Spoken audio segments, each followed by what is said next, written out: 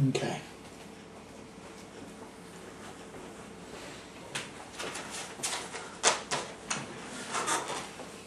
Alright. Welcome to this week's episode of Talking Footy, the show with production values to make TVS jealous. I'm your host Sean, and as with me always, my verbal sparring partner Dan. How you going, Dan? Yeah, not too bad, mate. Uh, another big weekend, of, another big big weekend of footy under wraps, That it was. and uh, Parramatta getting the biggest upset of the round. Now, who would have thought the Eels could uh, give the Broncos a spanking at Suncorp? Oof, it was it, it was like 42 to 22. It Yeah. was, what was it, 30 to 6 at half time? That was a big one. Yeah. Now, punters didn't. Punters didn't uh, realise that, and uh, but I was listening to Joey Johns on Triple M on the uh, on his call on the Monday night there, and uh, before the game he thought that uh, Parramatta had him on the edges, and sure enough, that's uh, where the Broncos came up lame. Pretty astute call, but uh, I'll give you something though. I listen to Joey a bit on Monday nights. Uh, he likes to tip Parra because they tend to be a bit long odds. Mm, uh, yeah. What are they paying? $4.50 there? I'm sure he had a sneaky little slap on that Just a quiet one. one, just a quiet one. Yeah. So, um. You'd be happy with uh, Penrith's golden point win then, mate? Always happy with the two points. Uh, whether you squeak it in or run away with it, Yep. win's a win. That's it. Um, good to see Flashback. Great to see Michael Gordon back for us. Uh, if we only we would have started with Lachlan Coote at the start of the year and uh, Flash at fullback, like I said to many a people, uh, maybe he might not be at Cronulla next year. But you know, hindsight's a wonderful thing. Yeah. Good to see Flashback. Good to get a close one too for the Panthers. Uh, now, what else have we got for this uh, weekend? Well, I found out something very strange, very interesting. What's that? I wake up Saturday morning, um, fine. You wake up Saturday morning, fine? Bit dusty, but all right. Yeah, not too bad, yeah. Turns out the world didn't end because the Broncos didn't play on a Friday night. Uh, yeah, go figure. Channel 9 would have you believe that Broncos have to play every Friday night. Now, uh, I did have someone uh, contact me during the week after our first episode. Uh, um, friend of mine, she wanted to remain, uh, remain anonymous. Uh, let's call her Megan R. It up. Ooh, ooh, this sounds No, a bit, no. bit too uh, Alcoholics Anonymous for that one. Uh, Yeah. Let's go with M. Roberts. Um, she said she's sick and tired of, because she just moved to Queensland, sick and tired of having to see them every single week. I bet. Um, yeah, I can understand. Even Jonathan Thurston came out this week and said it, Yeah. that he's sick of it. And he plays for the Cowboys. He's one of the Queensland teams. Yeah. And he whinges a lot too. he is quite a whinger. Uh, but that's like we understand the concept. You know, Channel Nine wants a Queensland team to keep the ratings every Friday night. Well, there's three there though, isn't there? Yeah, there's three of them, not just the one. Doesn't we have to be understand. Broncos every day. Yeah, we understand they're a one-town team, but come on, guys, you, like you're giving them a heads up. They've got seven days rest every week. Perfect example why we need the set schedule. Yeah, big time. And uh, this week in uh, AFL, AFL, whatever who gives a shit? now, straight to our first topic: who shit house and who shit hot? Already a fan favourite, Dan. Let us know. Shit, shit house? No, shit hot first. For me, this week's going to be uh, Nathan uh, Nathan Peats for South, right? Mm-hmm. Now, when uh, Isaac Luke got the band hammer, Uh, Also known as the uh, Adrian Morley effect. yeah, yeah. well, yeah, Isaac Luke with the band hammer. He, uh, this bloke, he stepped up big time, right? At, at hooker there for uh, South. It's going to be tough for the coach to um, to choose between when Isaac Luke's suspension's up, but. Uh, Great headache to have for Manchester. Well, uh, that's his biggest problem, uh, and they don't have a lot of problems there at South, not at the moment. Not at all. Uh, So- yeah. So what about uh, who's, uh, who's Shithouse. Yeah. Now, this is going to make a lot of internet uh, commenters just drop their monocles into their uh, Doritos bags. Dear God, no! but uh, Billy Slater, his return for the Dragons was, was woeful. It's tough to watch. And, uh, you know, he might have still been hurt. Um, maybe he was still hurt. Yeah. Maybe, maybe Melbourne could get fucked. and uh, that's who's building my shithouse this week, Sean. well, I can tell you is Shithouse. Uh, I'm going to have to go with the Bondi Club, the Roosters. Yeah, yeah.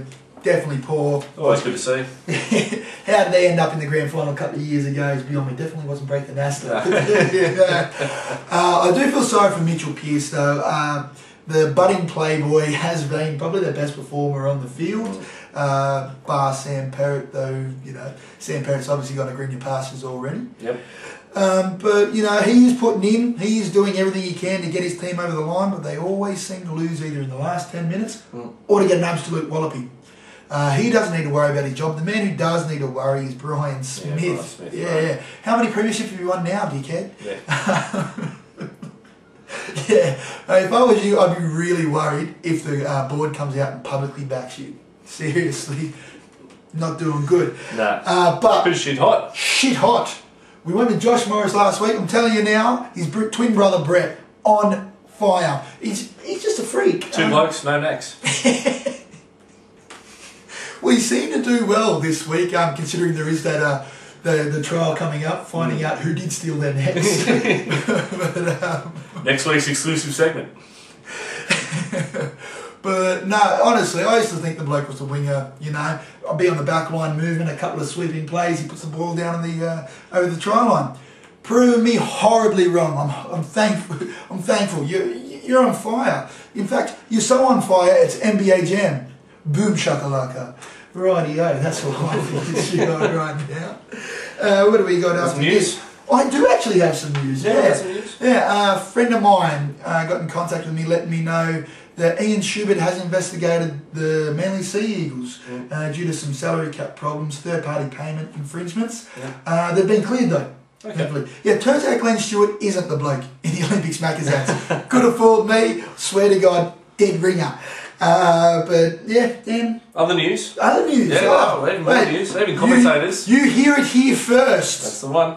Exclusive. Now, even commentators can't avoid the Supercoach bug at the moment, right? Now, Dan Ginnane, the uh, regular Triple M commentator, Love him. Love him. Monday, calls the Monday night games. The best. He's uh, he's got a regular column in the paper now that's um, he's actually touched on Supercoach in the last couple of weeks here, and Yeah. um, he's, he's he's saying he's struggling to uh, call games with the Supercoach teams with the Supercoach players on the team there because if, if one of his opponents, Supercoach opponents, players runs through the line like Chris Heighington ran through the line and scored a try to break everyone's hearts the other week in Supercoach.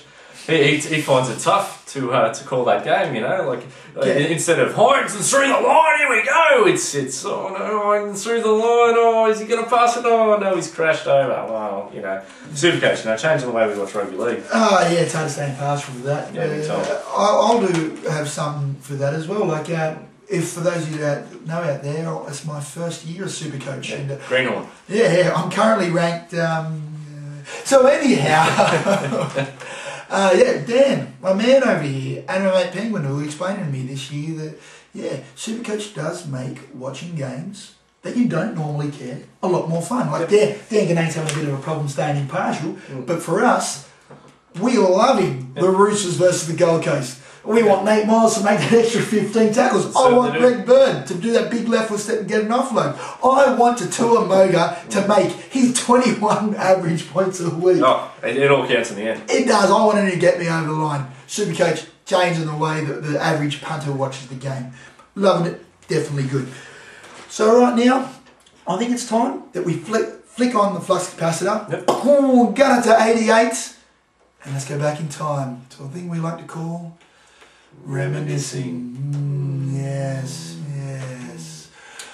Dan, do you remember when North Sydney used to be in the comp? No, I do. I do many years ago now. Running out of the old North Sydney Oval there. Oh, the old white picket fence green. Yeah. Oh, Old, old Oh, JT, Jason Taylor, Yep. old Flo. Ah, Greg Flower. Yeah, that's the one, mate. Gary Larson, Yep. Billy Moore. Hey, don't forget about Brett Dallas. Remember Brett? Yeah, yeah. Yeah, yeah, it's great when you just scores the touchlines there. Not only there for Queensland as well, but he was also well renowned as unfortunately being the world's ugliest sportsman. Head like a drop pie. Yep, only a mother could love.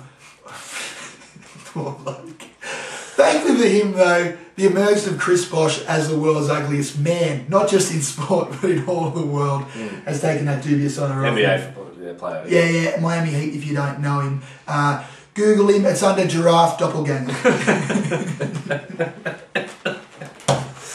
Actually, Uh. breaking news, we found out it is Chris Bosh stole the necks Yeah. of both Brett and Josh Morris. And a few other necklace fellows out there. yeah, yeah, he's, he's uh, yeah.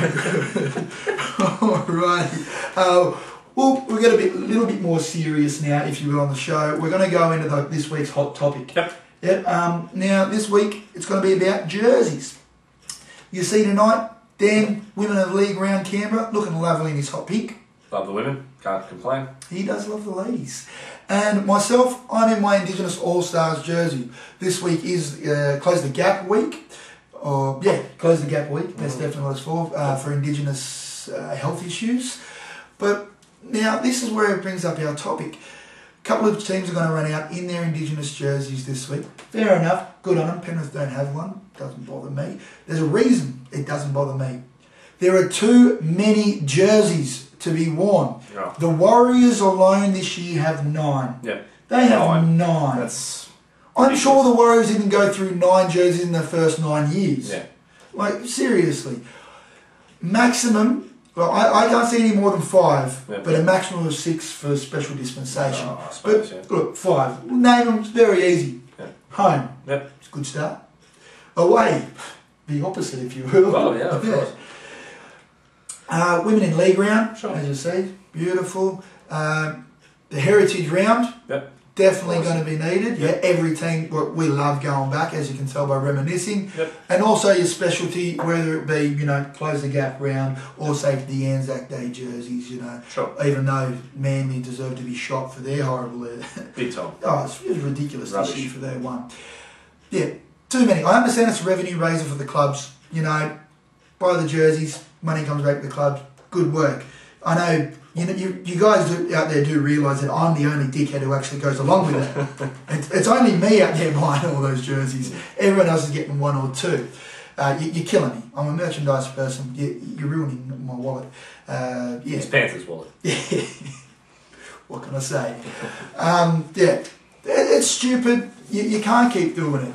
Um, the best thing is, though, I have heard a couple of good ideas thrown out there. Sure. Um, one of our favourites, Matty John's come up with one. Good Yeah. player, even better personality.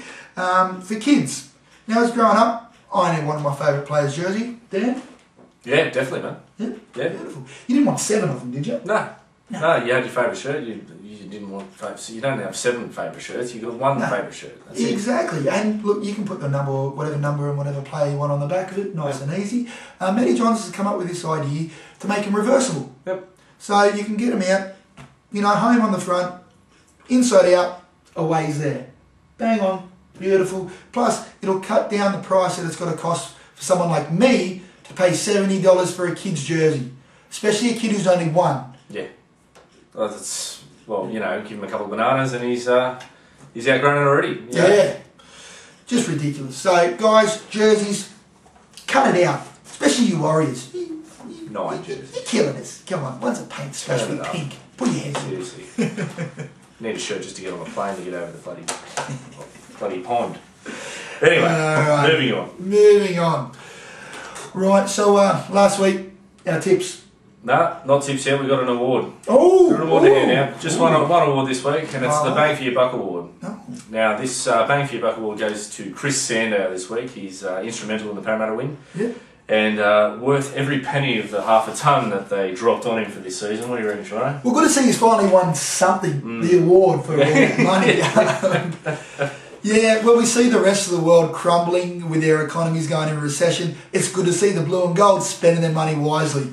Good on you guys. Yeah. And all that, all that revenue from all those jerseys that they. That they.